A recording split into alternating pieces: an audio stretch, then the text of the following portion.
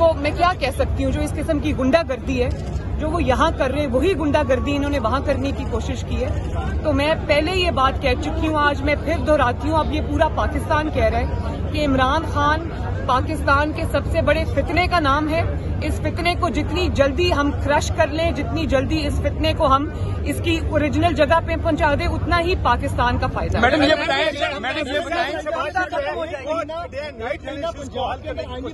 तो आप क्या समझते हैं? एक साल पाकिस्तान जमातों के पास है इश्यूज़ काफ़ी हैं तो प्राइम मिनिस्टर के मूव को कैसे देंगे नहीं, इंशाल्लाह मुझे पंजाब जिसको पंजाब स्पीड कहते हैं, अब वो पंजाब स्पीड पंजाब से निकल के पाकिस्तान स्पीड बन गई है। और मेरे, मुझे पूरी उम्मीद है, इंशाल्लाह ताला शहबाज शरीफ जैसा एडमिनिस्ट्रेटर उन जैसा वज़ीर आज़म जो सलाहियतें उनमें हैं, जिस तरह वो मेहनत करते हैं, जिस तरह वो पाँच बजे उठ के अपने काम पे आ जाते हैं और रात गए तक काम करते रहते हैं तो इन ताला वो बहुत जल्द इन जो भी चैलेंजेस हैं उन पे काबू पा लेंगे।